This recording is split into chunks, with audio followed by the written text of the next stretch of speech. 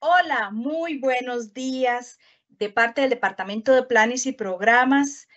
Eh, es un gusto que nos estén acompañando esta mañana. Muchísimas gracias por sacar un ratito de su tiempo para que podamos conversar, analizar y reflexionar en torno a este tema tan importante dentro de nuestro quehacer eh, diario. Este webinario está dirigido a todos los asesores regionales de capacitación y desarrollo educativo, así como las jefaturas pedagógicas que se encuentran en las diferentes direcciones regionales de nuestro país. Y por supuesto a todos nuestros queridos compañeros del Instituto de Desarrollo Profesional. El objetivo de encontrarnos esta mañana es que podamos analizar enfoques y tendencias actuales de la formación permanente del personal docente y cómo esto incide en el mejoramiento de ese quehacer pedagógico tan relevante. Quien les saluda, Adriana Retana, les va a estar acompañando como moderadora de este evento. Sin embargo, para mí es un gusto presentarles a mis compañeros expositores. Ellos son José Luis Jiménez Salazar, Graciela Brenes Corrales, Guillermo Badilla Sojo y Mario Avendaño Arguedas. A todas las personas participantes les solicitamos, por favor, que puedan ir llenando el registro de asistencia que va a estar ubicado en el chat de este evento. También les pedimos que por favor, si les surge alguna em, consulta, algún comentario que quieran compartir con nosotros, este lo puedan colocar en el espacio P. Ahí va a estar nuestro compañero José Luis brindando apoyo y al finalizar la presentación vamos a retomar algunas de estas eh, consultas para que podamos analizar, reflexionar, como les decía al inicio. Bueno, sin más preámbulo, vamos a dar inicio. Y para esto le voy a dar el pase eh, a don Mario Avendaño. Adelante, don Mario. Muy buenos días a todos y todas. Me uno al saludo cordial y agradecimiento por su valiosa participación en esta actividad. Ampliando el objetivo que se nos ha señalado el IDP y de manera particular desde el Departamento de Planes y Programas, hemos venido eh, valorando la necesidad de poder eh, acercarnos un poco más a los marcos y referentes conceptuales y metodológicos de la formación permanente.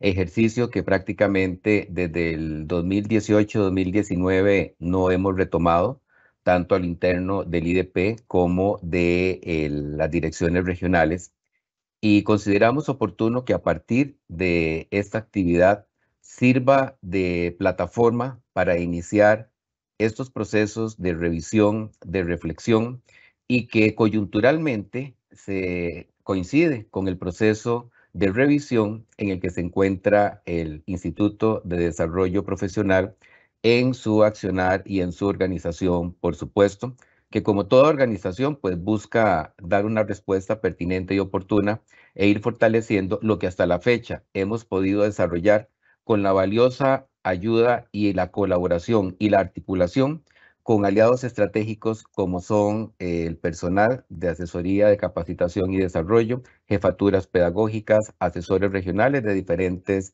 eh, instancias del nivel nacional y central, y por supuesto a todo el personal del Instituto de Desarrollo Profesional. Eh, se preguntarán por qué en este momento esta actividad. Como es sabido de todos y todas, la formación permanente eh, como un componente fundamental de la carrera magisterial del personal, y me circunscribo al personal docente propiamente dicho, es un talón de Aquiles los avatares a los que se enfrenta la educación, no solo costarricense, sino mundial, obliga a que se esté desarrollando diferentes estrategias y acciones que permitan brindar un mayor acompañamiento al personal docente en su quehacer pedagógico. Acción que hemos venido desarrollando, pero que sabemos también que no ha sido la idónea y por eso es necesario retomarla y fortalecerla. Y qué mejor que para poder construir esta ruta podamos ir clarificando y estableciendo códigos, estableciendo referentes, marcos conceptuales que nos permitan un análisis fundamentado, pertinente y que nos facilite una discusión constructiva. Hoy no es que queremos dar por terminado ni queremos decir que es la única aproximación, al contrario, recíbanla como un aporte para poder enriquecer y hacer reflexión de nuestro accionar desde nuestros diferentes nichos de cómo contribuir y fortalecer la formación permanente ante un proceso educativo en un contexto social y económico costarricense que alarga la permanencia en muchos casos de los funcionarios, demanda que estas personas reciban ese acompañamiento de la mejor manera y qué mejor a partir de un conocimiento amplio de lo que ha sido y es la formación permanente. Logros importantes de la formación permanente los conocemos todos, no estamos partiendo de cero, ni queremos hacer una lectura de lo que se ha hecho, no ha sido lo idóneo. Contrario, se ha hecho y mucho, aún en las situaciones más difíciles, como fue demostrado en el tiempo de la pandemia, que se dio una respuesta pertinente y oportuna en la realidad del sistema educativo costarricense a el acompañamiento del personal docente. Desafíos muchos y eso es lo que pretendemos hoy, socializar con ustedes algunas ideas y algunas reflexiones de los enfoques de algunos modelos de estrategias y por supuesto de cuáles son esos desafíos para que dejemos esa tarea que nos pueda ayudar y fortalecer en este campo tan poderoso y tan potente como es el de la formación permanente al cual todos aportamos desde una u otra perspectiva. Así las cosas, eh, les agradecemos su presencia y esperamos eh, reencontrarnos al final de esta actividad y poder eh, compartir y socializar algunas de las inquietudes y reflexiones que puedan surgir en ella. Muchas gracias. Seguidamente le damos el pase a Graciela, quien sigue con la actividad. Gracias. Muchas gracias, don Mario. Eh, Ahora vamos a hablar sobre las nociones y términos relacionados con la formación permanente. Algo muy importante, estimados participantes, es que vamos a dividirlos en grupos para que ustedes puedan participar en la siguiente actividad. Las personas que corresponden o que viven en Alajuela o Limón nos van a describir para ustedes qué es capacitación. Las personas que viven en Heredia o Punta Arenas nos van a describir qué es para ustedes formación permanente. Las personas que viven en Cartago y Guanacaste nos van a describir qué es formación continua y las personas de San José nos van a describir qué piensan ellas sobre lo que es el desarrollo profesional. A continuación, les va a aparecer esto que se muestra en pantalla. Por favor, participen. ¿Cómo pueden participar dentro de esta actividad? Se van a dirigir en, es, en, en esta bolita que si ven, tiene un más y escriben, le dan doble clic aquí y van a poder escribir su respuesta. Vamos a verlo. Los invito a participar, compañeros. El enlace, es, el enlace se muestra en el chat. Queremos verlos desde dónde viven. Van a poder escribir de dónde viven. Buscan. Eh, vamos a verlos desde aquí. San José, Costa Rica. O Guanacaste. Queremos ver cuántos están participando y desde qué partes del país nos están viendo.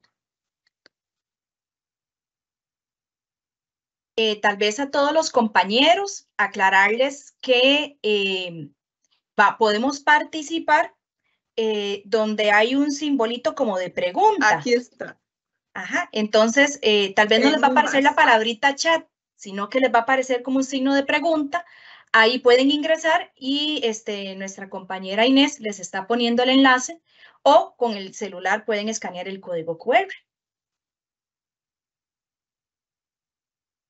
Vamos a verlos. El código QR lo ven como tomando una foto, lo, lo ponen y de una vez se les va a abrir el, el enlace. Lo primero que les va a salir en la descripción es de dónde son. No se preocupen, no dice quién es ni su nombre, solamente este, el lugar desde donde nos están observando.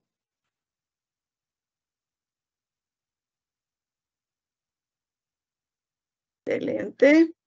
Ya tenemos una persona desde Alajuela. Tenemos otra persona en San José. Vamos chicos, ¿dónde está Limón? Guanacaste. Heredia. Los de Cartago no los veo, compañeros.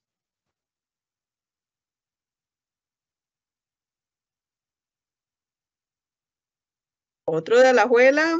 Ah, no, otro de San José. Eso, compañeros.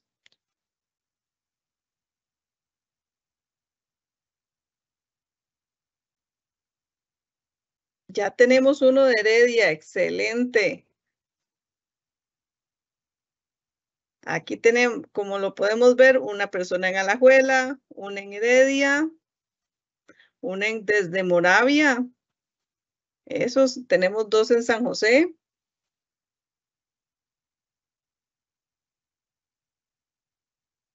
Vamos a darle un espacio para que todos puedan participar, no se preocupen.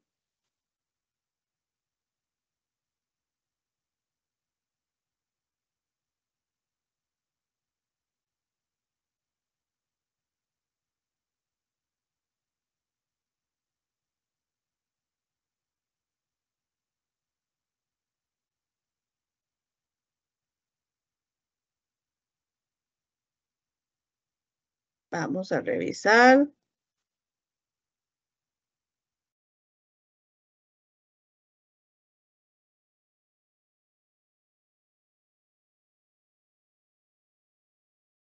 Listo, tenemos una persona desde Guapiles, bien, y desde Turrialba.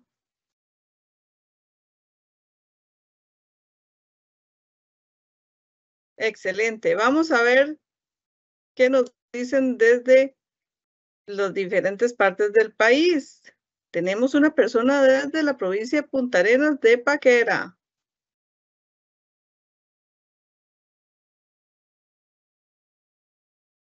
Compañeros, importante recordar que es para ustedes la formación permanente y no solamente que nos escriban desde dónde es, también que es para ustedes la formación permanente.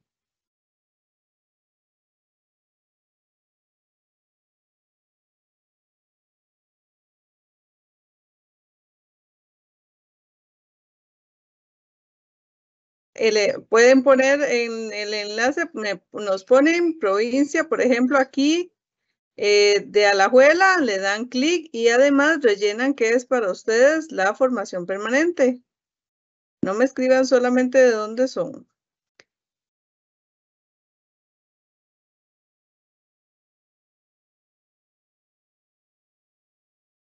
Ahí vemos que se nos están llenando los de Heredia, los de San José. Desde Talamanca nos están observando. Muchas gracias, compañeros. Desde Limón y alguien está desde Santa Cruz. Y ellos eh, desde Santa Cruz nos ponen que formación continua es un proceso continuo de enseñanza-aprendizaje y actualización de competencias profesionales.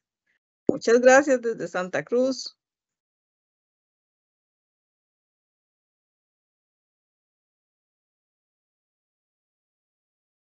Bueno, compañeros, gracias por, eh, por participar. Si gustan, eh, pueden escribir sus comentarios en el mismo enlace donde están entrando y poniendo las direcciones. Como pueden ver, tenemos varias personas desde todo el país. Tenemos a alguien desde Liberia. Excelente.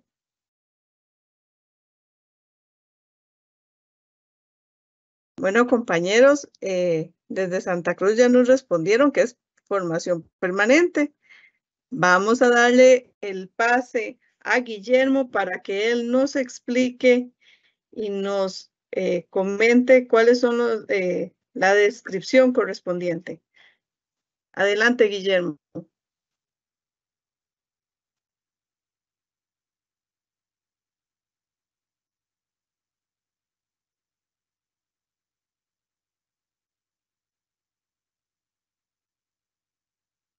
Muchas gracias, Graciela.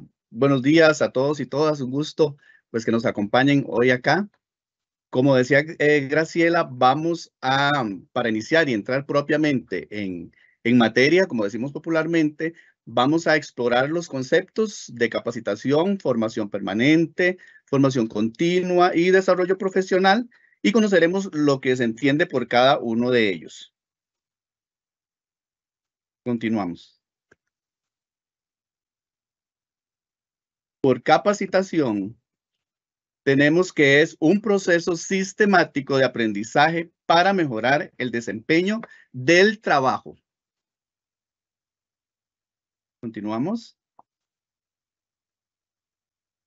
Por formación permanente, entendemos que es un proceso continuo de adquisición de conocimientos a lo largo de toda la vida profesional para adaptarse y mantenerse actualizados en el entorno cambiante y dinámico como en el que vivimos actualmente. Por formación continua, tenemos que es un proceso mediante el cual adquirimos conocimientos y competencias a lo largo de toda nuestra vida laboral para mejorar profesionalmente y se focaliza principalmente en la capacitación a corto plazo y en función de las necesidades organizativas o de nuestras organizaciones.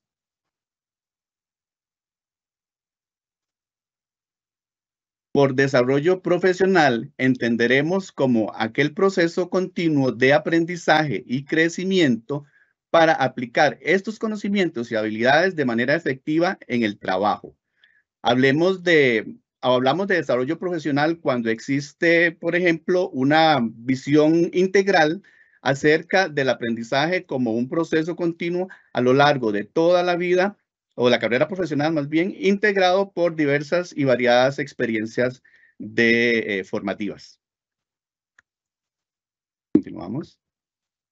Ahora bien, para comprender mejor, eh, de mejor manera, presentamos este continuo de formación permanente, el cual lo podemos ver como un a partir de la formación inicial universitaria, pasando por la educación formal, por el aprendizaje no formal, el autoaprendizaje y el ejercicio de la profesión docente, que de todo esto adquirimos experiencias y conocimientos.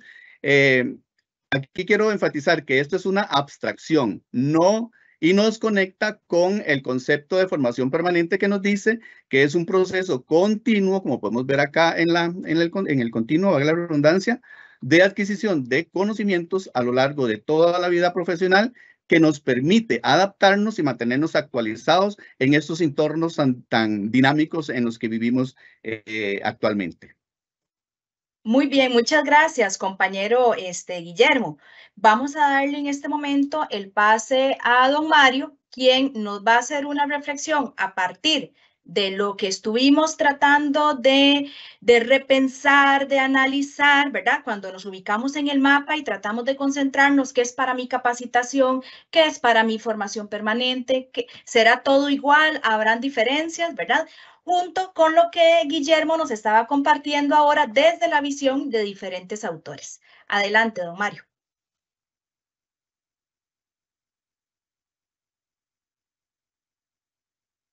Gracias, Adriana. Eh, precisamente eh, la intención de este apartado nos lleva a conocer un poco más los diferentes términos con los que denominamos lo que tradicionalmente se conoce como capacitación. Vieron ustedes que de diferentes perspectivas de autores, que fue la intencionalidad que tuvimos, refieren al evento base, al evento nuclear que es el mejoramiento del desempeño profesional y ojalá también personal. Con este eh, apartado y a partir de la actividad eh, inicial de las nociones, con algunos términos claves en relación con eh, la formación permanente y otros este, similares, es necesario y, y, pertinente que hagamos ese insight de poder revisarnos qué fue lo que pensé eh, no lo escribí, ok, es una, fue una opción. Eh, ¿Qué idea tengo cómo es que me relaciono con mis compañeros, qué términos son los que más usan, con cuál me siento muy familiarizado y sabiendo que hoy por hoy esos términos, si bien tienen una intencionalidad muy clara entre ellos, sí hay un posicionamiento que nos lleva hacia la formación permanente o la formación continua. ¿En qué sentido? En el sentido de que hablamos de procesos en donde ya no solo es el término reducido, y con este sí hay eh, literatura abundante, de que la capacitación responde a un evento específico, muy eh, concreto, que es dar respuesta de mejora a un asunto. Y la capacitación implica generalmente un proceso que lleva a una figura de alguien que sabe y que tiene mayor experiencia con alguien que requiere ese proceso de mejoramiento, que es válido en algunos contextos. Sin embargo, en el contexto educativo y en las y si retomamos el marco referencial de la ley de creación del IDP que busca potenciar el ejercicio de la docencia desde una perspectiva profesional, también debemos ir revisando estos enfoques y estos acercamientos, por cuanto vamos a ver más adelante que hay diferentes enfoques y modelos que nos atan a ciertas prácticas que ya ustedes conocen. Desde ahí, que si bien hay puntos y la línea es muy corta de separación entre uno y otro, sí hay términos que tienen implicaciones bastante interesantes de revisar, como es la formación permanente, la formación continua, que incluso a nivel de UNESCO se tratan como eh, sinónimos. No obstante, si hay una diferencia importante cuando hablamos de formación permanente y desarrollo profesional. ¿En qué sentido hay una diferencia contundente? Que el desarrollo profesional no podemos reducirlo única y exclusivamente a la dimensión cognoscitiva, sino que desde ese punto implica abrir ese espectro de crecimiento del ejercicio docente que abarca ámbitos como contexto sociolaboral, condiciones laborales, y cuando hablo de condiciones laborales, no solo la infraestructura, el espacio físico, la seguridad y el entorno ambiental, sino también el contexto en el que se desenvuelve el docente y, por supuesto, la persona directora, la condición de carrera magisterial, los incentivos que recibe esta persona que como ustedes verán en este escenario y hoy, pues supera el accionar mismo del IDP, pero que es una apuesta a la que han venido pues, eh, llegando otros países de poder articular y visualizar un trayecto de carrera magisterial más articulado y más eh, inclusivo entre las diferentes aristas que se tienen. Por eso, en esa lámina que estamos observando, en la literatura se opta por hablar de un continuum en la carrera magisterial de la persona docente, en donde incluso algunos autores hablan que en el caso del profesional de la docencia, arranca desde el modelaje que tenemos con nuestros maestros y profesores desde la etapa escolar y la etapa de la educación media. Ya hay estudios que señalan que muchos de los modelos docentes que replicamos se alimentan y se reproducen a partir de esas etapas que estamos hablando de 10 y 11 años. Imagínense ustedes lo que esto cala en el desempeño de la persona docente. No obstante, la literatura nos ubica que esa carrera magisterial y para el contexto nacional, arrancamos con la formación inicial universitaria, que hace que al ingreso, que es otra variante que tenemos, hablamos de carrera profesional, una vez que se ingresa al Ministerio de Educación, este proceso se empieza a alimentar de prácticas de aprendizaje formal, de aprendizaje no formal y por supuesto de autoaprendizaje. Todo ello va ligado también a un proceso formativo que hoy por hoy hay que retomar y redefinir que es el compromiso hacia mi mejoramiento profesional y no verlo solo como algo ajeno y externo a las prácticas que me generen desde el patrono para poder yo generar mi actualización. Esto hace también que revisemos cuáles son los procesos que desarrollamos, hacia dónde estamos apuntando y eso nos permite, por supuesto, ir revisando nuestras acciones y aquí no les estamos agregando el grupo etario. Hay otra perspectiva muy interesante ligada al desarrollo profesional y es cómo las características del grupo etario del personal docente también nos hace la diferencia cuando yo capacito docentes de 0 a 3 años con aquellos que tienen más de 20 y 25 años en su labor, la estrategia debe ser diferente y el acompañamiento diferente. De ahí entonces que eh, queremos que se hilvane este apartado con las expectativas, con las nociones que ustedes eh, elaboraron, algunos las transmitieron, otros no, eh, no hay problema, pero que sí vayamos sumando estos elementos para poder analizar y entender e incluso cuál es la concepción que estamos teniendo en nuestros propios lugares de trabajo, cómo me entiendo con mis compañeros y cómo es también concebido por el propio personal docente. Muchas gracias. Muchas gracias, don Mario. Continuamos con Guillermo.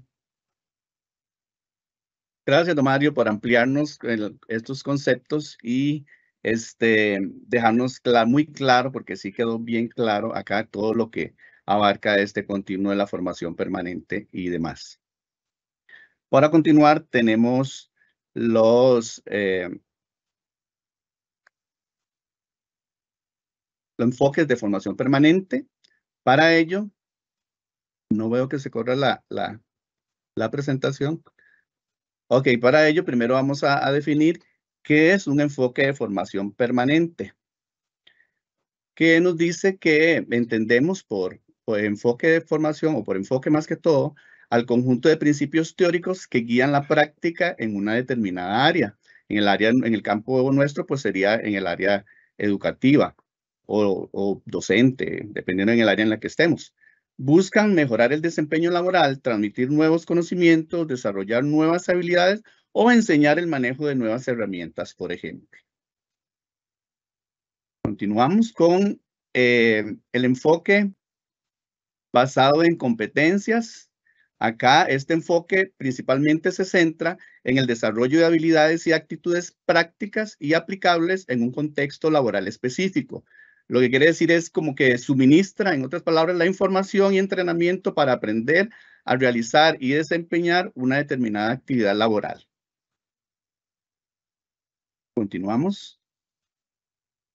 Seguidamente tenemos eh, mentoría que en el contexto MEP es una estrategia de relación, o la definimos más bien como una estrategia de, relación horizontal y colaborativa entre pares profesionales conformados por una persona mentora y otra que recibe el acompañamiento que eh, llamamos eh, persona mentorizada. Se me va ese, ese término, persona mentorizada, con el fin de desarrollar conocimientos y habilidades.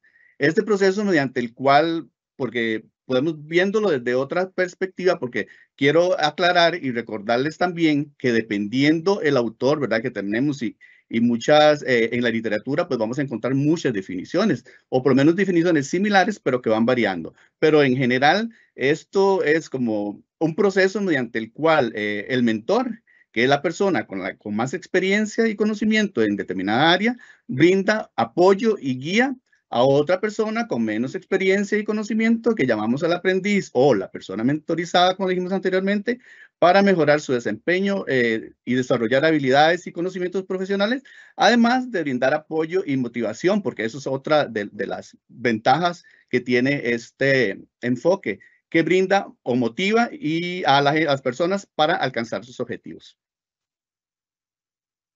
Continuamos con el enfoque centrado en el aprendizaje.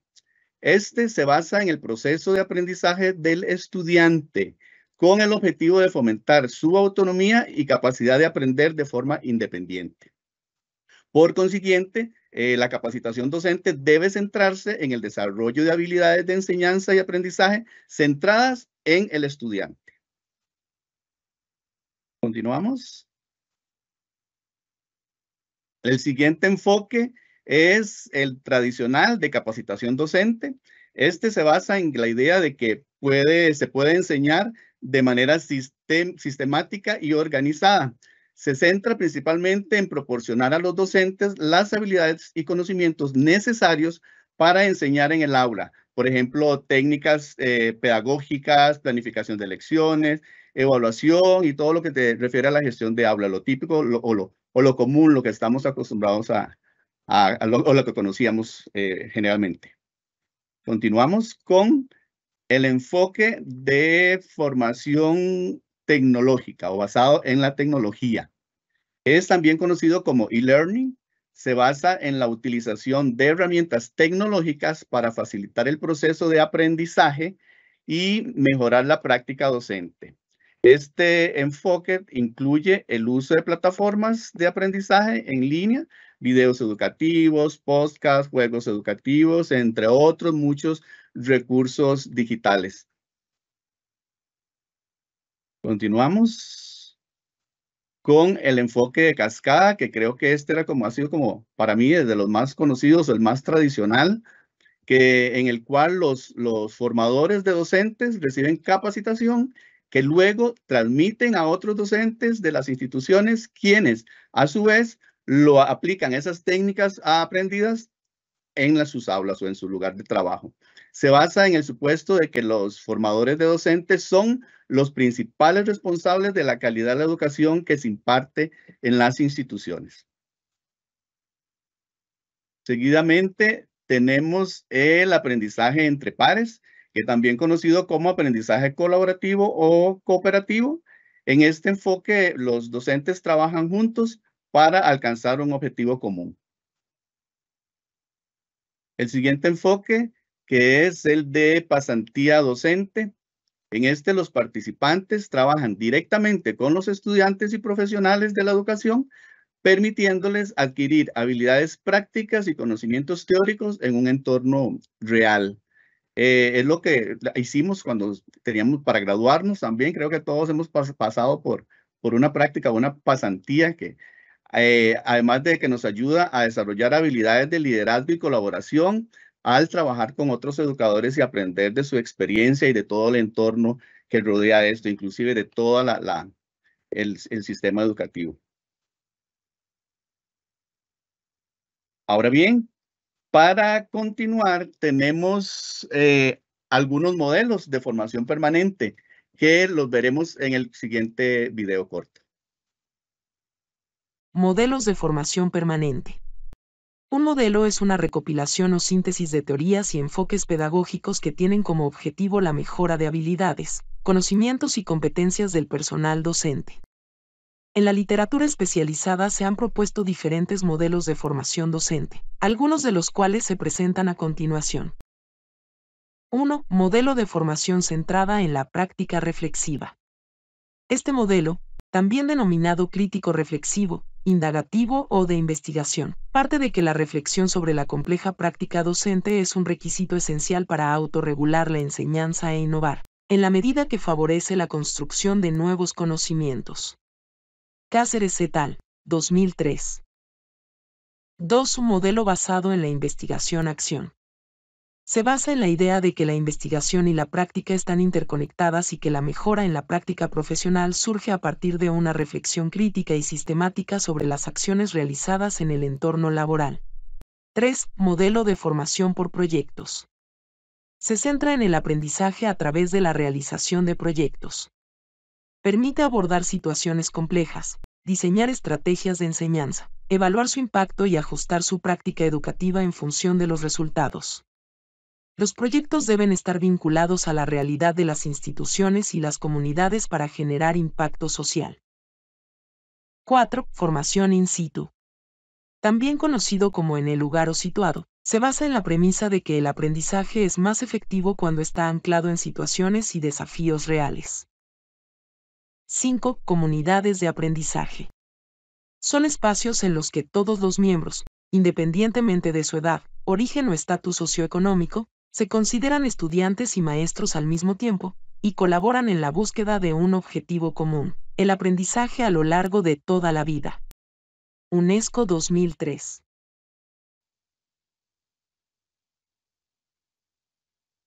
Muchísimas gracias, compañero Guillermo. Eh, les recordamos que estamos haciendo lectura de todos los comentarios y consultas que nos están haciendo. Algunas las estamos eh, contestando de manera inmediata, ¿verdad? Si son muy puntuales. Y otras las vamos a retomar al finalizar. Entonces, por favor, sigamos construyendo en conjunto, analizando a la luz de estos enfoques, modelos y conceptos. Y entonces, bueno, vamos a hacer ahorita una, una paradita, ¿verdad? Para jugar un ratito y repasar un poco lo que acabamos de, de presenciar que nuestro compañero Guillermo nos estuvo compartiendo. Te le voy a dar el pase a Gracia para que continúe con la actividad. Adelante, Graciela. Gracias, Adriana. Ahora vamos a hacer una pequeña actividad de una dinámica para participar según lo que nosotros acabamos de ver. José nos va a colaborar leyéndonos eh, las respuestas. Así que vamos a, estoy compartiéndoles y vamos a pasar a iniciar a la actividad. Gracias, Cada tal vez te voy a hacer como, como una publicidad nada más. Recordarles que eh, nuestra compañera Inés, que nos está apoyando demasiado en este, en este webinario, nos va a ir compartiendo los enlaces. Entonces, tal vez no nos sale de nuevo, ¿verdad? La paradita chat, sino que nos va a salir como un signo de pregunta arriba. Ahí ingresamos y este, vamos a observar el enlace. Entonces, ese enlace ya nuestra compañera Inés lo está colocando ahí.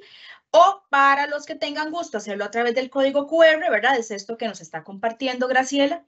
Y ella va a ir este, mostrándonos la actividad y José nos va a ir eh, apoyando con las respuestas que ustedes nos den.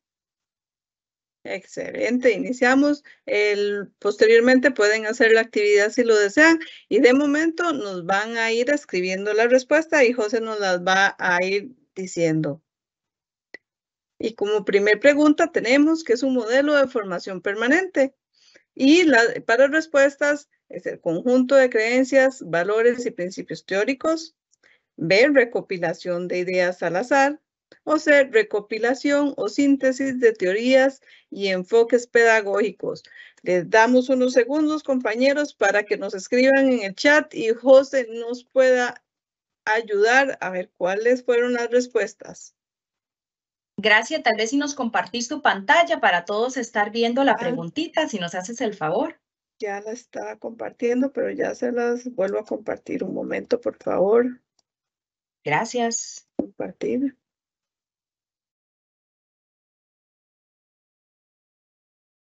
Adriana, ¿ya les está llegando? Ahora sí se observa. Muy amable, gracias. Excelente, gracias. Repito, compañeros, que es un modelo de formación permanente y tenemos como opción A, es un conjunto de creencias y valores y principios teóricos, B, recopilación de ideas al azar, o C, recopilación o síntesis de teorías y enfoques pedagógicos, nos lo pueden escribir y José nos va a compartir la respuesta. Compañeros, entonces tal vez en el chat los motivamos a que puede ser hasta de manera anónima para que no se preocupen. ¿Cuáles creen ustedes que es la respuesta? Sí, pueden ponernos A, B o C. Vamos a ver, José, ¿qué observas? Repito, que es un modelo de formación permanente. Es A, conjunto de creencias, valores y principios teóricos. B, recopilación de ideas al azar. O C, recopilación o síntesis de teorías y enfoques pedagógicos. Vamos a ver, compañeros. José, eh, ¿nos compartes ahí cuáles han sido las respuestas en el chat? A, B o C.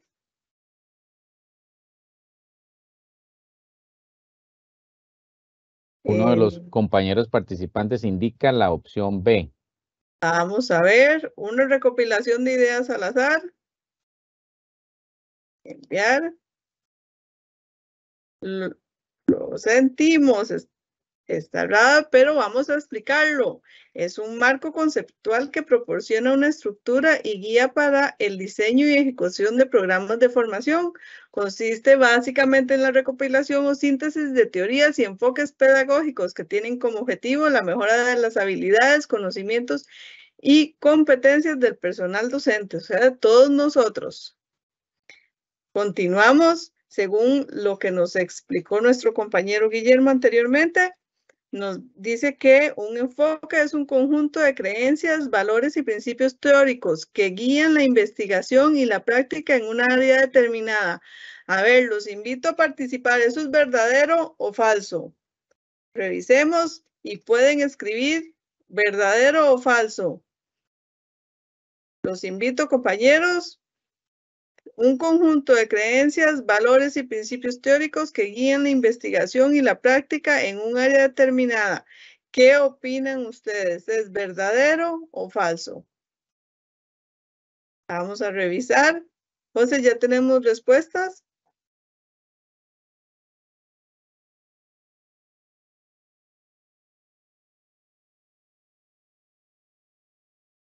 A ver, compañeros, sin miedo. Me indican verdadero.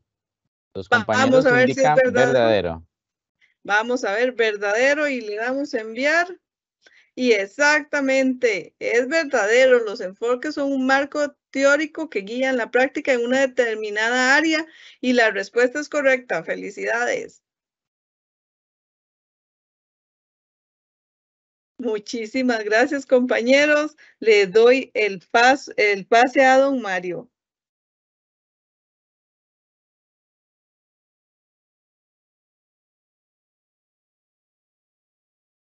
Gracias, Graciela. Interesante actividad. Un poquito de, evaluación formativa, si lo queremos ver un poquito tan, tan rimbombante.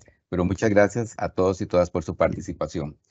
Antes de continuar con la, eh, con la presentación, este, quisiera retomar un poquito entre enfoque y modelo, porque esto es importante. Yo creo que eh, toda disciplina, toda acción profesional es importante que tenga un asidero para podernos entender y, partir de ahí con nuestras diferentes acciones y no eh, caer en algunas ocasiones en improvisación, eh, sabiendo, y hago la excepción de que hay momentos en que la contingencia es necesaria, pero creo que en la mayoría es necesario que podamos ir ampliando estos marcos. Cuando hablamos del modelo, el modelo es una forma de representar algo, un fenómeno, un hecho social, un hecho eh, económico, etc. Ese modelo es alimentado por una serie de teorías, principios, como se dijo anteriormente. Entonces, desde ahí, este, es importante también conocer que de ese modelo se derivan y puede dar pie a diferentes enfoques. No es que tengamos que en formación permanente casarnos con un enfoque específico. Por lo contrario, podemos aglutinar, pero que esa, esa, esa integración sea articulada y sea coherente en el tanto y en el cuanto su intencionalidad lo permita. ¿Qué quiero subrayar con esto? Que es necesario contar con un modelo, no como modelo teórico, sino un modelo que nos permita organizar y visualizar la formación permanente como un proceso integrado e integral desde las diferentes instancias participantes. Esto no es una lectura oficina central, no es una lectura a nivel regional, sino más bien cómo articulamos como instancias estratégicas en el ejercicio de la formación permanente, cómo articulamos y cómo vamos eh, renovando hasta acercarnos con mayor propiedad al centro educativo, que es la deuda que tenemos hasta este momento. ¿Cómo nos acercamos y llegamos al accionar del personal docente? Entonces, si bien hay diferencias desde el término de su conceptualización, se articulan porque uno alimenta a otro y es necesario que esta eh, posición la podamos eh, ir clarificando y ampliando y no caer en una eclecticidad antojadiza que nos pueda eh, crear problemas luego en la operacionalización de estas acciones. Bien, dicho esto, me voy a, referir a lo que son las tendencias de la formación permanente en América Latina. Cuando hablamos de tendencias, y viene muy ligado a lo que han sido los modelos y los enfoques, este, es necesario tener claro que de estos procesos que se han dado en otras latitudes, en otros contextos socioeducativos, han logrado su impacto y su incidencia y han sido recopiladas y divulgadas no solo por la OEA, por la OEI, sino también por la UNESCO, que han valorado y han validado a partir de estudios internacionales desde una perspectiva comparada los impactos y las incidencias de las acciones de la formación permanente. ¿Qué nos retoma esto? Que la formación permanente hoy por hoy es una tarea puntual y estratégica para cualquier sistema educativo que quiera crecer y fortalecer las acciones en este campo. De ahí que de estas tendencias, la que tiene mayor auge y mayor arraigo, pues tenemos lo que ha sido el uso de la tecnología educativa, en donde se, yo lo vivimos con la pandemia de una manera bastante improvisada, pero que creó y hizo una ruptura en lo que veníamos desarrollando de manera tradicional y que no se atrevía a dar ese alcance. Con todos sus pros y sus contras, ya se generó una nueva eh, cultura, se creó una nueva opción de formación. En el tanto y en el cuanto, también tengamos claro que el uso de la tecnología sea con una perspectiva formativa y operativa que enmarque y fortalezca la mediación pedagógica. Hago referencia al estrato propiamente docente en todas sus dimensiones. Por ello es que no se trata solo de incorporar la tecnología como tal, es que ésta sea un medio en el cual se visualice a lo largo del proceso formativo y no sea vista solo como un recurso, tengo este otro, tengo esta pizarra, tengo este recurso, pero no hay una articulación que nos lleve al uso óptimo y pedagógico de, esta, de, esta, de estas facilidades. Seguimos.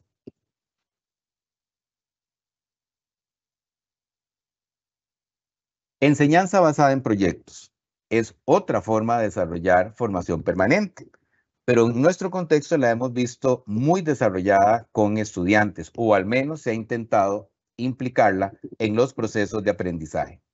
Sin embargo, aquí volvemos a la importancia de la conceptualización. ¿Qué entendemos por proyecto? ¿Cuáles son las características de un proyecto? ¿Qué conlleva la realización de un proyecto? ¿Cuáles son los resultados para ver el logro de ese proyecto? De ahí entonces que es importante que entendamos esa enseñanza basada en proyectos. Y cuando hablamos de la enseñanza, no es una enseñanza hacia la población estudiantil solamente, es que hay un proceso de enseñanza-aprendizaje en la población adulta desde el punto de vista laboral y del ejercicio profesional, porque no dejamos de aprender y esa es una de las dimensiones de la competencia muy señalada pero poco desarrollada y es ese compromiso hacia el automejoramiento hacia el mejor desempeño, y no quiero decir que no la existe, claro que la hay, pero no en la dimensión que desearíamos y bajo la perspectiva que desearíamos eh, considerarla en este momento. De ahí entonces que es necesario tener claridad de cómo se construye el proyecto, qué aporta el proyecto, y cuando hablamos de esto es muy importante que estos proyectos respondan al entorno y al contexto educativo en el que elabora la persona docente porque eso le permite poder desarrollar acciones a partir de su propia realidad y poder desarrollar trabajos compartidos con sus compañeras, con la comunidad, que le permita implícitamente al proyecto, de acuerdo con el diseño que se haga, cuáles son esas habilidades, cuáles son esas competencias, quién lidera, cuáles son, cómo me comunico, cómo gestiono, cómo construyo, cómo dialogo. Esa es parte de lo que estamos haciendo ahí. Y esto, obviamente, compañeros y compañeras, es todo un proceso que requiere iniciar y que no es que lo encontremos a la vuelta de la esquina, ni porque yo lo escriba, ya mañana lo aplicamos y esto cambia. No, estas son las aristas y aquí lo que queremos desde planes y programas es apuntar a esos insumos. Insumos para experienciar proyectos de investigación, proyectos de innovación en un aula, en un centro educativo, en una comunidad, de manera que podamos dinamizar y retroalimentar esa perspectiva reducida de formación permanente o de capacitación que hasta el momento hemos venido desarrollando, pero que hoy queremos compartir cómo podemos ir avanzando e ir desarrollando acciones gradualmente que nos permitan desarrollar estas acciones. Seguido.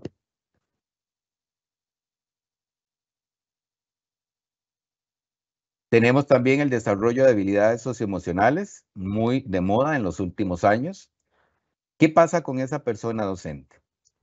Si, revisamos las ofertas en las que participamos cada uno de nosotros desde nuestros ámbitos, cuando uno ve el PFP, el PFP en un 95% está orientado hacia actividades y temáticas en el ámbito cognoscitivo. No quiere decir que esto sea incorrecto, todo lo contrario, es parte de. Pero antes del saber o en el nivel del saber, yo tengo que trabajar con una persona, con un ser humano, que muchas veces esa dimensión socioemocional es la que no permite que conecte con la información que le damos desde el ámbito cognitivo.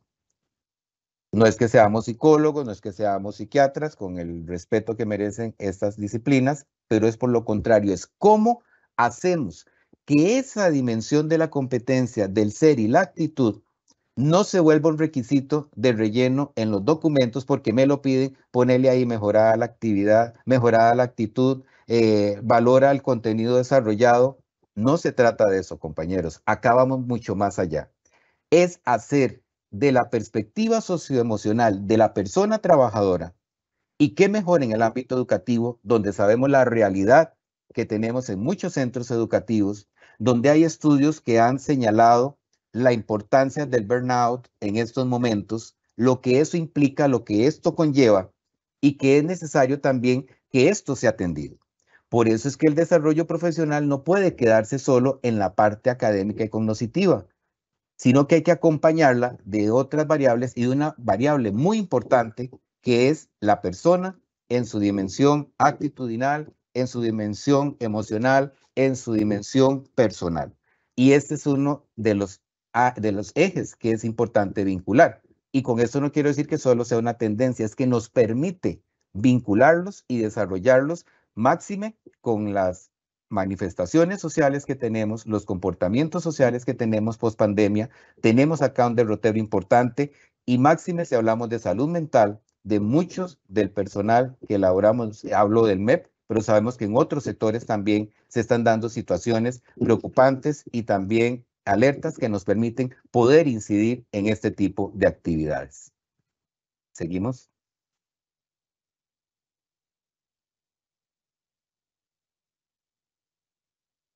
El aprendizaje activo, por supuesto. La formación permanente no puede seguir siendo vista como la como la reproducción de experiencias de aprendizaje de la formación inicial universitaria. Bien o mal, tenemos una persona que ingresó al MEP, cumplió los requisitos, fue validada e ingresó.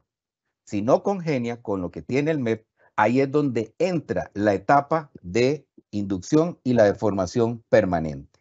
¿En qué sentido? En darle los acompañamientos para que comprenda los marcos políticos, los marcos curriculares y pedagógicos del porqué de su accionar en ese contexto con el cual, y aquí vuelvo a la importancia de los grupos etarios y que ojalá que a, a mediano plazo pudiésemos trabajar esa variable, cómo inducir, porque las expectativas de los primeros años del docente varían con respecto al que ya tiene 10 o 15 años o más, en donde hay que hacer modelajes y procesos diferentes para poder palear el conocimiento de la realidad que ya tiene el profesional y las, los lineamientos que le llegan externos y que es necesario poderlos vincular y articular. Por eso acá el aprendizaje activo, y aquí nos lleva a estos referentes, ¿por qué? Porque aquí no vamos a referirnos al diseño curricular de la oferta o al programa de curso, como algunos lo quieren ver, la ruta didáctica, como se le puede llamar también, no vamos a entrar hoy acá, pero que todo esto nos lleva a orientar la importancia de la planificación didáctica de la actividad en la estrategia que corresponda. ¿Por qué? Porque es necesario tener claro el para qué. Si nosotros no tenemos el claro, el tener claro el para qué convoco, el para qué invito, el para qué publicito una experiencia formativa, es necesario que la tengamos presente. El aprendizaje activo va muy relacionado con el aprendizaje situacional, del cual podemos conversar en otro momento, en donde se busca acercar al docente a su realidad y a su contexto. Y esto implica ir al centro y aquí es donde entramos con un eslogan que hemos tratado de venirnos acercando desde planes y programas, que es la construcción de los procesos de formación permanente a partir de un trabajo en y desde el centro educativo. Bueno, eh, Dichosamente coincidimos con uno de los enfoques como es la mentoría. Desde hace un par de años, desde el Instituto de Desarrollo Profesional, venimos desarrollando la mentoría como una estrategia de acompañamiento docente en doble vía. no solo la mentoría para fortalecer los procesos de lectura y escritura en primero, segundo y, y, en tercer grado en algunos, sino también validar la estrategia como una forma de formación permanente, en donde se construye a partir de pares, a partir del acompañamiento que se brinda del equipo central del IDP de desarrollo curricular. Y eso ha sido muy enriquecedor, y permítame el, el comercial, porque nos permite acercarnos al centro educativo. Lo que acompaña un lineamiento, cuando vemos en el centro educativo la realidad de la infraestructura, el modelo de gestión administrativa que se ejerce, el contexto comunitario en el cual se desarrolla, un poco las características del personal que labora ahí, son variables importantes de conocer y de poder sopesar para desarrollar estas acciones de formación permanente si las queremos orientar hacia un sentido de pertenencia y de oportunidad de mejora. Siguiente. Y por supuesto, el fomento de la educación inclusiva y de la educación inclusiva en todas sus manifestaciones, que siempre lo vemos en el niño o la niña o el joven, pero también hemos visto y lo reconocemos, muchas de nuestras ofertas no son lo inclusivas que desearíamos, nos falta, no es solo adecuar el lenguaje y el vocabulario, las y los, va mucho más allá. El enfoque de inclusividad significa una toma de conciencia de que la diversidad enriquece y que no todos, todos aprendemos de la misma manera.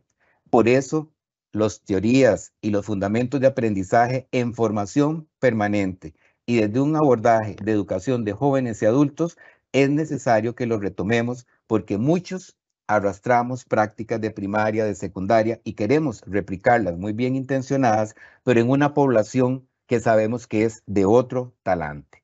Y otro talante me refiero en que hay otros desafíos, otras prioridades y es de suma importancia considerarlas. Considerar las diferentes variables que pueden incidir o afectar el desarrollo de una actividad que nos permitan acercarnos en todas sus manifestaciones, más que como un requisito de forma y de estética de redacción, ojalá podamos llegar a desarrollarlo primero como una toma de conciencia, una forma de vida de que la diversidad enriquece y el respeto a esa diversidad es parte también de un proceso formativo para nuestro accionar.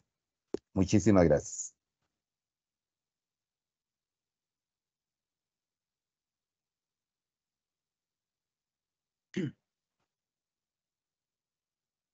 Muchas gracias, don Mario, por este, la presentación.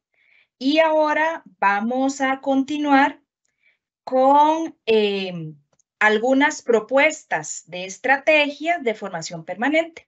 Para esto le damos el pase a nuestro compañero Guillermo.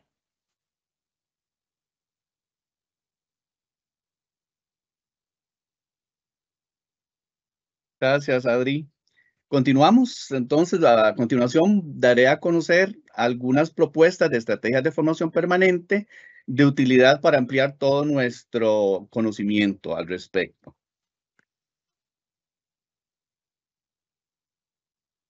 Entonces, la primera propuesta que tenemos eh, son las redes de aprendizaje colaborativo que se componen o buscan más bien el fomento de la colaboración entre los docentes para compartir buenas prácticas, recursos y experiencias. Acá en Costa Rica tenemos un ejemplo de estas redes de aprendizaje colaborativo en eh, la red de bibliotecólogos de Costa Rica. Esto es eh, muy importante porque les permiten reflexionar sobre su propia práctica, actualizar todos sus conocimientos y, y habilidades y mejorar, por supuesto, eh, en la enseñanza y aprendizaje. Otra sería mentoría. La mentoría es otra de las propuestas que precisamente este, don Mario hace un ratito nos, nos explicó y promueve el desarrollo profesional docente a través del acompañamiento de un mentor más experimentado o bien de una persona par. Eh, por ejemplo, eh, el IDP, con el apoyo de la dirección curricular, ha implementado esta propuesta en docentes de primer y segundo ciclo en el área de lectoescritura. Eh, actualmente, si me equivoco, me corrigen por ahí. Actualmente la propuesta se desarrolla, creo que son 23 eh, instituciones o centros educativos y se cuenta con el apoyo de, un equipo central de mentoría que está conformado por cinco asesores nacionales del IDP y de, curricular, los cuales pues fueron capacitados en, mentoría o en mentoring y es liderado por eh, don Mario, la jefatura del Departamento de Planes y Programas. Si me equivoqué, me corrigen, pero esta mentoría, pues eh, creo que a, lo personal lo considero eh, exitoso y ojalá que podamos pues seguir trabajando en esto. La tercera propuesta que tenemos es las comunidades de práctica. Estas son eh, grupos docentes que componen un interés común y se reúnen periódicamente para reflexionar en torno a su práctica, resolver problemas, aprenden juntos y, por ejemplo, bueno, acá en, en, realidad en Costa Rica como que no, no, no encontramos alguna como muy más activa, pero a nivel latinoamericano sí existe en México y, por ejemplo, esta que, se eh, comparte, que son la comunidad de aprendizaje de prácticas innovadoras en Colombia, entre otras. Continuamos. La cuarta serían las plataformas de aprendizaje virtual que son eh, herramientas en línea que nos brindan acceso a diferentes cursos, materiales educativos y recursos de aprendizaje. Todo esto, por supuesto, a través de la Internet. Ofrecen eh, cursos que son autogestionados y de autoformación, como le llamamos. Y tenemos ejemplo de estas plataformas que se encuentran en, gran cantidad, pero las más o las que consideramos importante está Coursera, la Udemy, no lo voy a decir en español, la EDX y el Moodle, entre muchas otras también. Seguidamente le doy el pase a mi compañera Graciela, quien nos hablará o nos sobre las limitaciones de la formación permanente en el contexto MEP.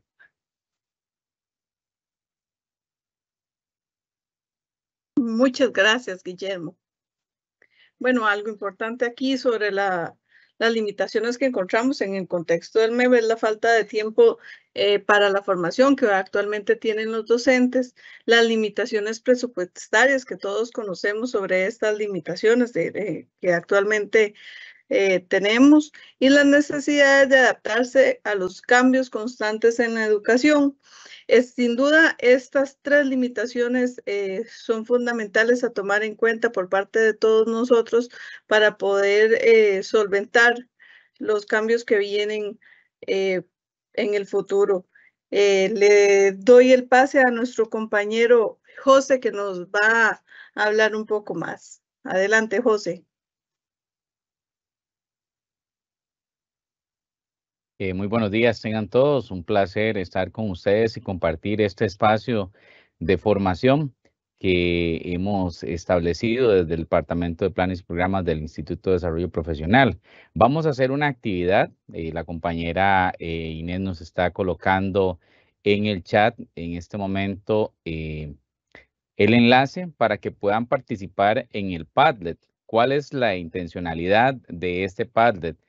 Queremos conocer cuáles son las ideas que tienen ustedes con respecto a los principales desafíos de la formación permanente en el contexto MEP, ¿verdad? Entonces, la idea sería que ustedes ingresen al PALDET y obviamente en la partecita donde aparece un más, empiecen a, a darnos sus ideas, ¿verdad? A, conocer cuáles serían las perspectivas de ustedes con respecto a estos principales desafíos que tenemos en formación permanente dentro de nuestro contexto MEP, ¿verdad? Entonces, eh, ya está publicado eh, el enlace y ahí lo tienen en pantalla con el código QR también si lo quieren utilizar. Y dentro de un momentito vamos a ver eh, la presentación cuando ya ustedes estén pues generando sus aportes y podemos eh, obviamente leerlos, revisarlos, porque la idea es contar con eh, esa apreciación de ustedes que están en sitio, conociendo eh, la participación y como lo dijo en su momento Mario, el accionar medular que tienen nuestros compañeros asesores de regionales de capacitación y desarrollo educativo en los centros, perdón, en las direcciones regionales y nuestros, los jefes de asesorías pedagógicas que también nos están acompañando y todos los vinculados con los procesos de formación permanente. Entonces vamos a dar unos minutos para que ustedes puedan escribir. Ojalá que todos puedan escribir. Yo sé que no tenemos como tanto tiempo para, para que todos estén, eh, pues obviamente, eh, aportando. Incluso algunos lo han hecho de otra manera, pero eh, la idea es reconocer cuáles son sus ideas con respecto a esos desafíos que, tenemos en formación permanente a nivel de, este ministerio, del instituto y de todo el accionar, eh, evidentemente, la educación costarricense.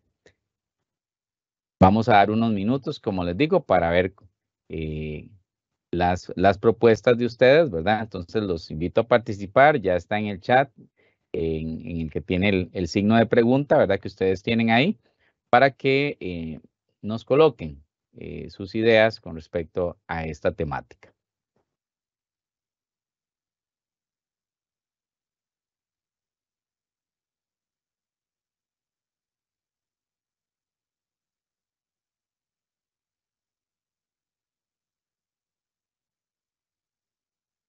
Podríamos pasar a la, a la presentación de, eh, del Padlet ya para visualizarlo, ¿verdad?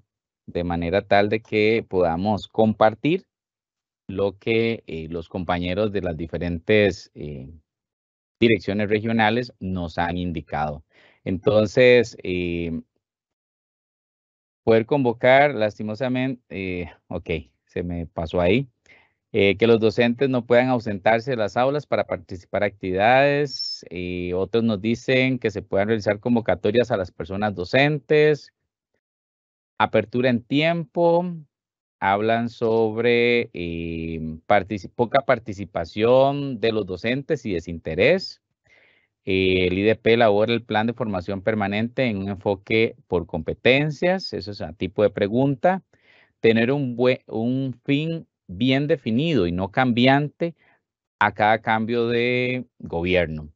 Ok, la parte de sensibilización al personal docente sobre la importancia de la participación de actividades en formación permanente, ajustar los tiempos laborales y descanso del personal docente con actividades de formación permanente, falta de motivación, apertura en tiempo eh, de capacitación, y las convocatorias que eh, se puedan hacer a docentes, o sea, que se dé ese tipo de, de actividades, pero que se pueda, ¿verdad?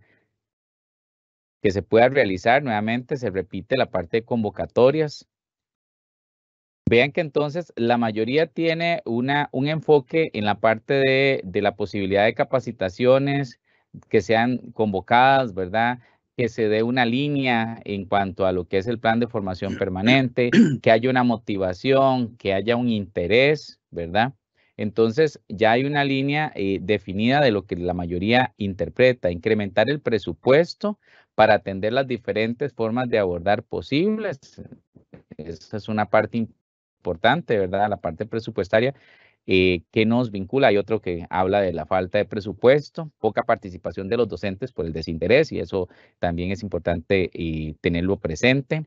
La calidad de la enseñanza, los espacios en horario laboral para asistir a estas actividades formativas, eh, que estén vinculadas estas ofertas eh, directamente con la práctica docente. Entonces, vemos cómo se moviliza ese, eh, ese Padlet indicando esa pizarra virtual donde la mayoría está hablando de, ese, de esa situación que tenemos presupuestaria, de convocatoria, de espacio docente, de la parte motivacional, que es sumamente importante, ¿verdad? Entonces vemos que hay una serie de desafíos que nos comprometen a todos a trabajar, obviamente, en eh, ir mejorando estos procesos y que la formación permanente eh, sea más significativa, eh, sea vinculante, sea contextualizada y que podamos entre todos, pues obviamente, mejorar el proceso de enseñanza y aprendizaje que es al final uno de los pilares importantes.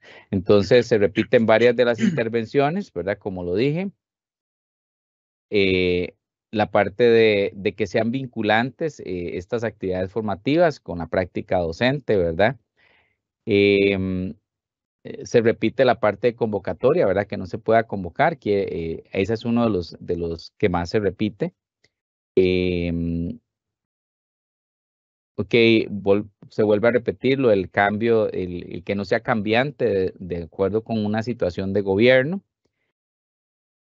Básicamente sería como para, para ir cerrando. Agradecemos pues a todos los que han participado. Eh, la pizarra queda ahí como tal, es un recurso donde, donde quedan todas las, los aportes que ustedes nos brindan y eso obviamente será un buen insumo también para nosotros en el trabajo que estamos eh, realizando. A continuación, tendríamos entonces la participación de mi compañero eh, Guillermo. Gracias, José. Qué, bueno ver que todo esto que ustedes anotaron y compartieron con nosotros, esos eh, desafíos de formación, eh, sí coincidimos en, en, todos. Así es que les, les, les voy a compartir lo que consideramos pues son nuestros principales desafíos.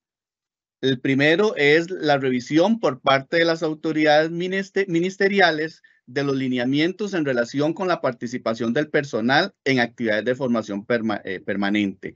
Eso lo, lo vi muy clarito ahí, muy repetitivo, o sea, tenemos directrices que tenemos que cumplir y que no nos permiten por el momento, este, pues, capacitarnos en nuestros horarios eh, de, laborales. El segundo desafío que tenemos como MEP en general es velar por la pertinencia de las actividades formativas con las necesidades educativas y laborales del personal en servicio con respecto a la calidad de los aprendizajes de la población estudiantil. O sea, tenemos que tener un, un PFP pues, que sea pertinente para eh, solventar todas las necesidades educativas y laborales que tenemos. Continuamos. La siguiente sería la gestionar en conjunto con las instancias correspondientes. Ve ahí, quiero enfatizar con las instancias correspondientes porque pueden ser no solamente es curricular eh, y evaluación, sino con todos aquellos para la formulación de un modelo de gestión de la formación permanente en el contexto MEP. Además, pues debemos fortalecer, tenemos como desafío también el fortalecimiento de la plataforma de cursos virtuales para ampliar la oferta y la cobertura, que es muy necesario y consideramos que es medular en este momento. Continuar, otro de los desafíos sería continuar y ampliar con la estrategia, ampliar la estrategia de mentoría que hablamos anteriormente, porque consideramos que es pues eh, eh, uno de los, de los, recursos que tenemos eh, y, lo consideramos exitoso, pero de ahí nos falta todavía como más apoyo de las autoridades del MED y por supuesto presupuesto, que creo que en todo, lo, lo estamos, en todo nos estamos viendo afectados precisamente por ese rubro. Continuamos con, bueno, ahí creo que ya nos seguiríamos con Adri, que nos tiene otra actividad.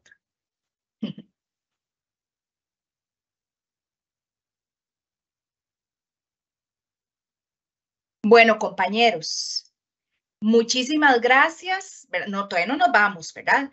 Eh, pero quiero irles agradeciendo por esa apertura que han tenido de compartirnos sus inquietudes que como pueden ver son las mismas de nosotros, ¿verdad? Como decía Guillermo y que este, todo este bagaje de repaso de conceptos, de qué es capacitación, qué es formación permanente, cuáles modelos, cuáles enfoques contamos, ¿verdad? Para atender esas necesidades de formación que tienen eh, los funcionarios del Ministerio de Educación Pública, nos puede ayudar a darnos ciertas luces de cómo podemos ir direccionando esa formación permanente que sea este, atinente, ¿verdad? Y em, que sea actual y que responda, como les decía anteriormente, a estas necesidades de formación.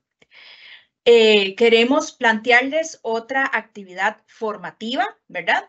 Yo la voy a ir guiando, es una ruleta, pero aquí les estamos compartiendo a ustedes, por si lo quieren hacer de manera personal o posterior, el código QR y el enlace, ¿verdad? Vamos a, jugar un ratito en un Genially. Yo les voy a ir leyendo la pregunta y las respuestas y vamos a hacer como lo hicimos con mi compañera Graciela. Eh, van a ir anotando, por favor, las respuestas que ustedes consideran en, la sección de preguntas y José me va a hacer el, el, grandísimo favor de irme compartiendo lo que ustedes consideran. Pero si alguno de ustedes quiere jugar de manera individual, aquí está el recurso para que lo puedan hacer. Entonces, em, me, voy a, em, me voy a permitir compartir pantalla y le agradecería a José que me indique si puede observar mi pantalla. En este momento ya está en proceso. Ok, va Ok, ahora sí. Eh, nada más para reiterar, el que entra y lo hace individualmente no aparece para nosotros la, la, la respuesta acá, ¿verdad? Entonces es un proceso más individual, ¿verdad? Entonces, eh, porque sí me lo mencionaron ah, en el juego anterior, entonces si lo hago yo personal, pues ahí me va dando mi, mi realimentación. Pero en este lo estamos haciendo de esta forma para que todos puedan participar. Excelente, muchas gracias. Sí, entonces, bueno, vamos a darle vuelta a esta ruleta. Y por 25 puntos, compañeros. Es un proceso continuo de adquisición de conocimientos, habilidades y competencias a lo largo de toda la vida. ¿De qué estamos hablando? A. Formación permanente. B. Formación continua. O C. Desarrollo profesional. ¿Cuál consideran ustedes? Yo sé que estos términos tienen un hilito muy delgado y uno con otro, ¿verdad?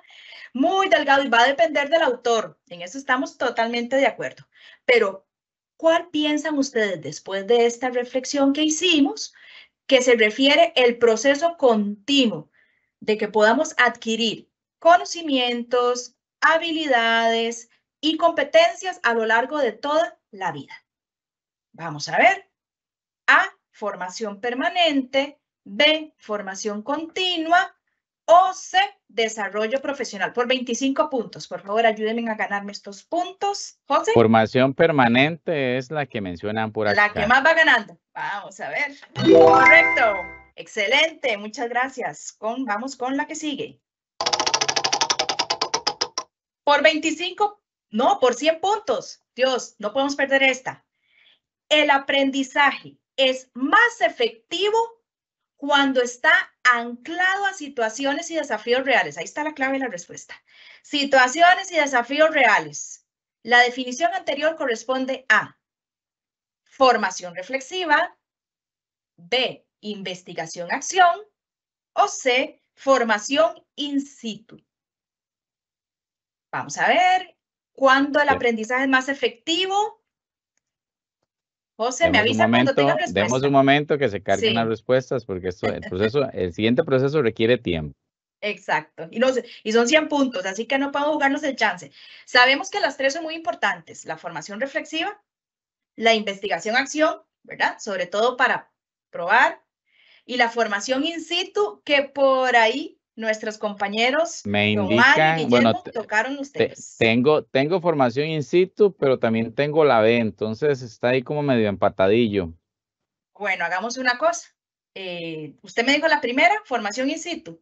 Vamos no, a ver. es formación in situ la que va ganando. ¿Cuál va ganando? in situ. Ok, voy con la que va ganando. Correcto, excelente, muy bien. Es súper importante que pensemos que la formación no puede ser igual para todos los contextos son totalmente distintos. Es más, acuérdense, bueno, yo fui docente por más de 20 años y cuando me tocaba dar dos grupos, no era lo mismo la clase de mate para el 5.1 que para el 5.2. Hasta en eso, en esos detallitos, ¿verdad? Más aún, pensemos en esos procesos de formación que a veces los damos como muy masificados y no contextualizamos cuando estamos ya en, en, en la actividad como tal. Excelente, por 75 puntos. Son bastantes, compañeros. El siguiente ítem corresponde a un enfoque de formación docente. Vamos a ver, vimos enfoques, vimos modelos. ¿Cuál me habla de enfoque de formación permanente? Las comunidades de aprendizaje, el trabajo por proyectos o la mentoría. Vamos a ver. ¿Cuál es un enfoque? Comunidades de aprendizaje, trabajo por proyectos o mentoría. Tuvimos propuestas de estrategias, tuvimos tendencias, tuvimos enfoques y tuvimos modelos. ¿Cuál es un enfoque? José, ¿tienes respuestas? Me indica mentoría. Ok, vamos a ver si nos ganamos los 75 puntos. Correcto, muy bien. Mentoría. Excelente proyecto. No porque yo esté ahí, pero es un excelente proyecto. Muy bien, por 250 puntos, compañeros. Ojo, corresponde a una tendencia de capacitación en América Latina. ¿Cuál es esa tendencia de capacitación en América Latina? Libros de texto A, uso de tecnología B, modelo tradicional C. Tendencia de capacitación en América Latina. ¿Cuál sería? Los libros de texto, el uso de la tecnología o el modelo tradicional. ¿Qué opinan ustedes? ¿Qué recuerdan de lo que compartimos ahora en la mañana? Por 250 puntos. José, me avisas cuando tengas respuestas. Vean que son muchos puntos. Sí, el siguiente proceso requiere tiempo. Recuerden que dependemos del internet. Me indican uso de tecnología, el que los que están ingresando. La, la B también, entonces uso de tecnología. Ok, voy a en esas, a ver, por 250 puntos. Muy bien, excelente. Volvemos a tirar la ruleta. Y ahora por 50 puntos, nada despreciables, nada despreciables. Ahora vamos a hablar de propuesta de formación. ¿Cuál es una propuesta de formación permanente? Redes de aprendizaje colaborativo, estrategias tácticas y estrategias metodológicas. ¿Cuál será una propuesta? Y por ahí dimos un ejemplo, estuvimos conversando.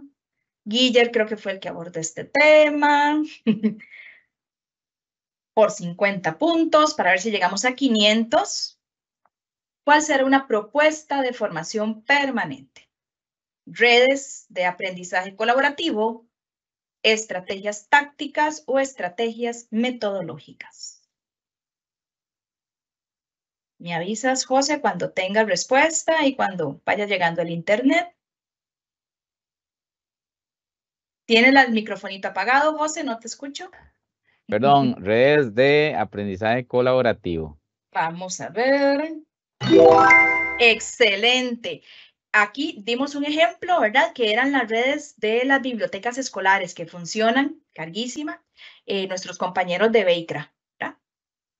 Muy bien.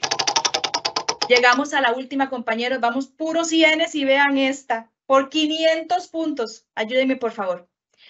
Una limitación de la formación permanente en el contexto MEP. Ustedes externaron algunos desafíos. Graciela nos compartió las limitaciones. ¿Cuál será? La primera, poca carga laboral de los docentes. Dos, necesidad de adaptarse a los cambios. Y tres, superávit. Lean bien porque puede ser que haya trampilla por ahí en las respuestas, ¿verdad? Vean que son 500 puntos. ¿Cuál es, lastimosamente, una limitación de la formación permanente en nuestro contexto? ¿Cuál será?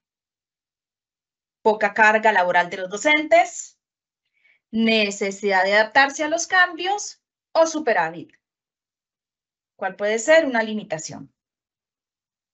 Por 500 puntos, para ver si llegamos a los 1000 puntos.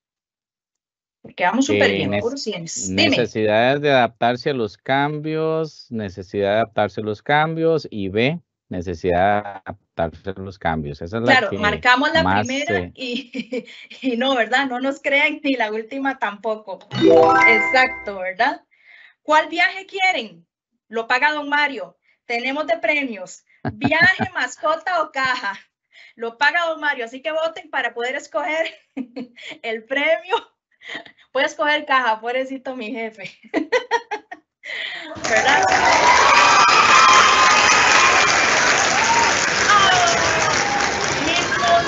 Que la caja estuviera vacía, pero bueno, es el conocimiento lo que nos ganamos, ¿verdad? En esta mañana.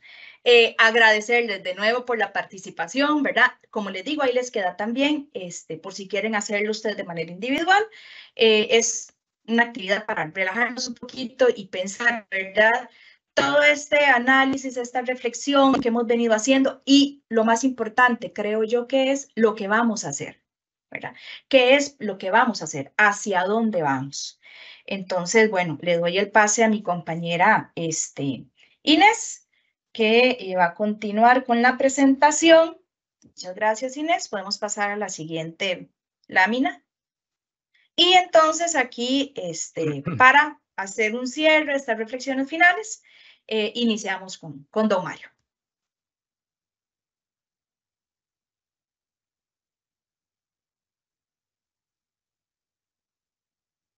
Gracias, Adriana. Excelente actividad. Claro, con gusto financiamos el premio, pero bueno, ya vimos que, que no se nos concretó. Será en la próxima. Gracias. Eh, a modo de síntesis y reflexión, compañeros y compañeras, este, importante partir de que la formación permanente hoy por hoy, no solo en Costa Rica, a nivel latinoamericano, es un pilar en la carrera magisterial del personal docente. Es un desafío, no crean que cuando hicimos el estudio y la revisión, eh, la situación no anda muy similar en algunos aspectos, pero también hemos de reconocer que en otras latitudes se ha avanzado mucho más por diferentes factores y variables de índole organizativo, administrativo que tiene la educación en dichos países, pero que más bien eso nos invita a hacer una revisión de lo que hemos actuado. Tampoco no es que no hemos hecho nada, como se, en algunos momentos se ha señalado, todo lo contrario. Se han hecho ingentes esfuerzos y ustedes, tanto nosotros desde el IDP como ustedes desde las diferentes direcciones regionales, son testigos de primera línea de los ingentes esfuerzos que se han hecho, de diferentes iniciativas que han promovido, aún con las limitaciones que tenemos, por acercar al personal docente a la actualización, por diferentes estrategias, por diferentes formas, pero eso no nos limita para que hagamos una revisión también de cómo mejorar porque a, la par de esto, si bien eh, tiene un papel relevante, sí debemos eh, señalar que tenemos una deuda desde la formación permanente y es mayor incidencia en el aprendizaje de los chicos y las chicas.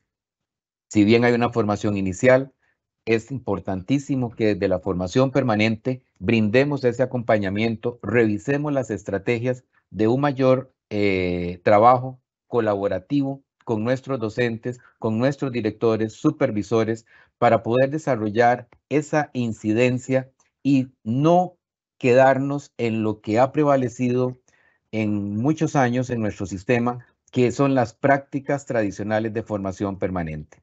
Lamentablemente, aún hoy por hoy seguimos con procesos masivos. Todos conocemos la repercusión que esto tiene. Hay que crear una conciencia hacia lo que es la virtualidad, la potencialidad de las herramientas tecnológicas, pero dándoles ese plus de aprendizaje, de interactividad y por supuesto de protagonismo al docente en su fortalecimiento del aprendizaje. Es necesarísimo que volvamos la vista hacia el centro educativo. Es nuestro norte para todos los niveles educativos. Es volver la vista hacia el centro educativo en sus diferentes modalidades, en sus diferentes características y situaciones que viven hoy por hoy tampoco podemos ser este, apostadores solo a la figura del docente. Creo que también es una apreciación que hay que revisar en el sentido de que no solo el docente es el responsable de la calidad de los aprendizajes, es un actor importante y desde esa lista debemos acompañarlos, pero no podemos caer en la trampa porque muchas veces así ha sido manifiesto, de que el docente es el único responsable de la calidad educativa. Y empecemos por entender qué es calidad educativa. Pero sí, indistintamente de la concepción que se viva, hay una responsabilidad en el personal propiamente docente, que es velar por los aprendizajes de los chicos y es nuestra responsabilidad desde el instituto, desde las asesorías de capacitación y desarrollo, desde las jefaturas de asesoría pedagógica, promover ese trabajo articulado, conocedor, diagnosticado de qué requieren nuestros docentes, en qué particularidades y poder hacer de esa formación permanente más que un requisito, más que una tramitología, verlo en un espacio educativo de aprendizaje para nosotros y de una incorporación cercana con nuestros docentes en los diferentes entornos educativos. Por supuesto, tenemos un desafío importantísimo y es poder construir en y desde los centros educativos esa cultura y esa apropiación del aprendizaje y del autoaprendizaje como ejercicio profesional. Esa actualización permanente y eso no es solo para el docente, nos abarca a todos, porque no se vale pedir formación permanente para un lado, pero si de nuestro lado tampoco nos estamos actualizando y creo que el compromiso es recíproco para poder desarrollar esta cultura. Desde ahí es que nuestro, eh, nuestra mayor reflexión en este momento es, estamos con la responsabilidad de un nicho valioso e importante de contribuir al fortalecimiento de la educación costarricense, del aprendizaje de los chicos y las chicas, del ejercicio docente desde el ámbito propiamente de la pedagogía y del ejercicio profesional, pero también aunado a una perspectiva humana y socioemocional de nosotros mismos y de, también de las personas hacia las que nos dirigimos. De ahí entonces que eh, tenemos un reto, un desafío, pero un desafío interesante y que esto no se ha acabado. Al contrario, el cierre de una puerta nos invita a abrir tres ventanas o incluso hasta tres o cien puertas más y creo que lo hemos demostrado hasta el momento. Agradecerles ese trabajo que hemos venido desarrollando. Conocemos que tenemos que retomar ese acercamiento con un brazo estratégico como son los compañeros y compañeras del nivel regional, desde las jefaturas de asesoría pedagógica, el personal de asesoría específica, para acercarnos y hacer ese trabajo mancomunado en un proceso articulado y fortalecer la formación permanente. No se trata solo de fortalecer el IDP o las direcciones regionales con las cuales trabajamos de la mano, sino es dirigirnos y abocarnos a las demandas y a las necesidades que tienen hoy por hoy la educación costarricense, que han sido reseñadas en diferentes foros, en diferentes instancias, y creo que tenemos ahí también insumos importantes para poder validar y contrastar y fundamentar de mejor manera nuestras acciones profesionales como se han venido realizando hasta la fecha. Muchísimas gracias. Muchísimas gracias, don Mario. Vamos eh, a pasar ahora al espacio de consultas que ustedes eh, nos han ido eh, anotando. Algunas de ellas ya fueron resueltas porque eran preguntas más puntuales y personales, ¿verdad? Entonces ahí estuvo a cargo nuestro compañero José, pero eh, parece que hay unas dos que son como, como generales, ¿verdad, José Luis? Entonces, para que nos las comparta y, tal vez don Mario nos, nos apoya en la reflexión de estas consultas. Adelante, José. Eh, sí, muchas gracias, Adri. Eh, una de las intervenciones que nos hicieron eh, dice de, esta forma, luego de hacer una revisión teórica de autores, ¿sería posible escuchar la posición IDP respecto a todos estos términos? Muchas gracias. Esa es una de las, de las em, consultas que nos hacían. Y la otra es, desde la revisión que ustedes han realizado, ¿cuál modelo de formación permanente se recomienda? Usar uno o hacer una combinación de varios. Estas son las dos eh, que tenemos por ahí, más por ahí un comentario que podemos hacerlo posterior. Don Mario, no sé si nos, nos colabora. Claro, claro que sí, con mucho gusto. Este, muy interesantes eh, ambas preguntas. No obstante, y creo que acá es importante señalarlo, eh, nosotros como integrantes del Departamento de Planes y Programas, nuestra apuesta con esta actividad, como fue señalado al inicio, es brindar un espacio, eh, más que el espacio, el aporte, insumos para iniciar un proceso de reflexión, de discusión a partir de diferentes eh, marcos referenciales que nos permitan poder argumentar y fundamentar nuestros criterios y sabemos que existirán muchos y qué dicha que se compartan, que no se compartan, no estoy de acuerdo para mí la terminología y qué rico, porque la, la diversidad de perspectivas y de posiciones en un marco de análisis y de construcción permite esa discusión armónica, esa discusión fundamentada que en el marco de un proceso de formación permanente y de que hacer profesional es necesaria y urgente. Que discutamos profesionalmente, que discutamos con argumentos, con propuestas. Y de ahí creo que eh, humildemente, desde el Departamento de Planes y Programas, todo el equipo busca aportar este escenario de realimentación a este proceso. Cuando usted solicita la posición del IDP, eh, me hubiese gustado decirle cuál es la posición del IDP, pero por respeto a que es, eh, me requiere una posición institucional, creo que no puedo darle ese criterio eh, y no porque no se hayan dado los argumentos, puede que se den, pero en vista de ese marco con el cual queremos ser consecuentes, de que podamos en este marco, y creo que ustedes lo conocen, tenemos la, en la dirección ejecutiva a doña Carla Salguero Moya, de reciente ingreso, quien está muy comprometida con el proceso de revisión y de realimentación de la, de la organización, del funcionamiento y de muchos de los desafíos que han sido señalados desde instancias internas y externas. Este, creo que en su momento también se les participará al nivel regional de todo este proceso que se está desarrollando, que a lo interno estamos viviendo de una revisión integral del accionar del IDP. Y creo que a corto plazo y no solo por el modelo que usted requiere, sino también porque en la política educativa requiere de la formulación de un modelo de formación permanente y orientado al desarrollo profesional, como ahí se le etiqueta, es un desafío que tenemos en el IDP.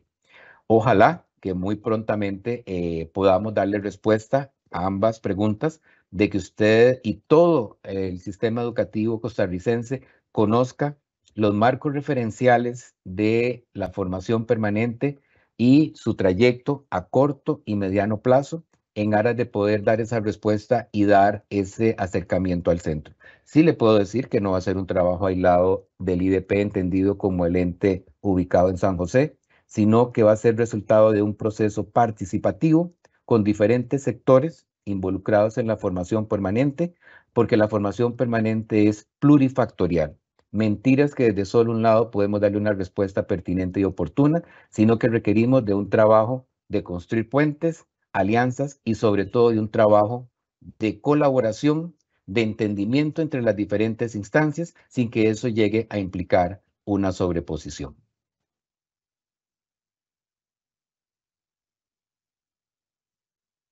Tenemos eh, tres preguntas más que ingresaron y todas se relacionan, creo que con la misma línea, ¿verdad? Entonces vamos a darle una respuesta eh, más eh, general, ¿verdad? La primera eh, se refiere a si el IDP elaborará un plan de formación permanente, un PFP, bajo el enfoque por competencias. La otra habla de que si en el PFP 2024 los enfoques, estrategias de actividad de formación permanente en las direcciones regionales, eso repercutirá, perdón, eso es que la palabra no estaba bien escrita, repercutirá en el PFP 2024 los enfoques, estrategias con las actividades de formación permanente en las direcciones regionales. Y José, José perdón, si me permitís referirme a estas dos antes de avanzar con otra. La otra tiene que ver con también con, enfoque por competencias. No sé si las retomamos todas. Es que son con diferentes eh, énfasis. Entonces, si me permitís irme refiriendo a cada una. Eh, la primera tiene que ver con el PFP con enfoque de competencias. Eh, recordemos, compañeros, y si no me permito hacerlo, el PFP se ingresa en la herramienta del SIGAT, que tiene un formato que se le permitió al IDP hace varios años ajustarlo lo mejor posible a una descripción general. Y ustedes conocen la herramienta, la estructura que tiene, que es un descriptor general y básico de la actividad que se va a desarrollar y que el cúmulo de esas actividades, esa, ese consolidado, da pie a la, eh, al PFP de cada año. Por lo tanto, en el PFP no podemos visualizar el formato de competencias como tal. Ese sí lo podemos ver y lo han vivido los que han hecho los formularios de FOCAP 1 en el diseño curricular de la actividad o FOCAP 1, que sí fue reformulado hace varios años y que venimos trabajando desde hace dos, tres años con los, los saberes que cuentan con las tres dimensiones de lo que vendría a ser una competencia. El saber del conocimiento, el saber hacer, que tiene que ver con lo procedimental y que en formación permanente es el estratégico, porque es aprender a hacer, y por supuesto el saber ser, más una ruta didáctica que permite operacionalizar esa perspectiva desde los saberes articulados para que puedan dar respuesta a ese aprender haciendo en ese contexto. Por ahí estaríamos con esa. ¿Qué va a pasar con el PFP y las direcciones regionales? Precisamente en ese marco de revisión en el que se encuentra el IDP y por eso ustedes no han conocido de una propuesta oficial y formal. Eh, estamos en el IDP revisando estos, estas acciones y estos lineamientos de manera de que tengamos una visión no de cantidad, sino de calidad y de acercamiento mediante acciones y procesos sustantivos que nos permitan dar respuesta a las falencias que en este momento ustedes conocen y conocemos nosotros, que es urgente atender y poder llevar a la práctica en el docente de aula. Adelante, José.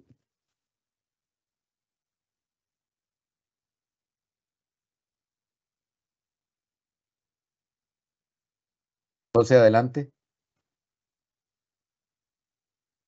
Continuando, entonces tenemos la otra pregunta que habla sobre también el enfoque por competencias. Dice muy importante el enfoque de competencias para la formación permanente. ¿Cómo se nos va a formar a los asesores de capacitación y desarrollo educativo en este enfoque para poder orientar con criterios pedagógicos claros el plan de formación permanente 2024? Gracias, José. Este, bueno, ya me referí el por qué no hay un vínculo directo por la estructura que tiene la herramienta tecnológica, no así, donde sí lo podemos ver, pero sí les puedo decir que ese sentir de la capacitación en competencias y máxime con las que han sido establecidas oficialmente por la administración, creo que todos requerimos mayor información, formarnos y operacionalizar y transferir esa información de las competencias, no solo para efectos de un PFP, sino también para el diseño y planteamiento de las diferentes secuencias didácticas con las que se eh, desarrollan los procesos de aprendizaje. Por supuesto, en el contexto en el que estamos en este momento, es importante visualizarla, no solo, y repito, como un requisito de PFP porque lo llevo al, al documento, sino cómo de ese documento doy el salto a una propuesta curricular y pedagógica o andragógica oportuna y pertinente que me permita solventar esas brechas en el desempeño y que incidan en la práctica de aula. Así es que compartimos con ustedes su preocupación por la formación permanente en un tema actual y sensible como es el abordaje por competencias.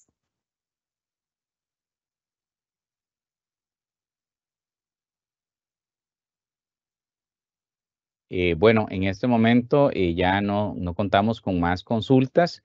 Eh, creo que es importante, pues, después de este espacio de, reflexión, de, análisis y de compartir, ¿verdad? Que, que hemos tenido, agradecerles a todos los que han participado en la actividad del día de hoy. Y obviamente recordarles que el próximo viernes también tenemos un espacio donde vamos a continuar con la parte de planificación desde eh, nuestro departamento y todo el accionar del instituto. Entonces, eh, creo que por acá eh, yo daría esta parte por concluida el espacio de preguntas y reitero de parte del departamento, del Instituto de Desarrollo Profesional, las gracias a los participantes que estuvieron acompañándonos con sus consultas, comentarios. Eh, que son de suma importancia para nosotros y el crecimiento que tengamos todos a, partir de este proceso.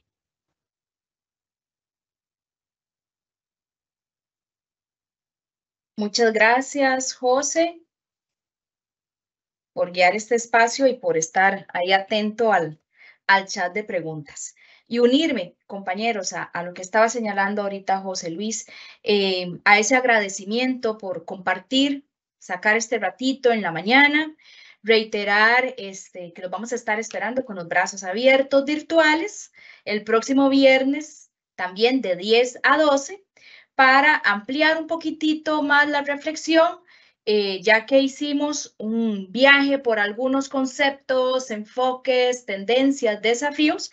ahora aterrizar un poquitito más, ¿verdad? En la parte de gestión de los procesos de eh, formación permanente desde el contexto del Ministerio de Educación Pública. Entonces, bueno, de esta manera damos por concluida la actividad. No sin antes, ¿verdad? Desearles que tengan un excelente día y que les eh, alcance el fin de semana para, para descansar un poquito y recargar baterías.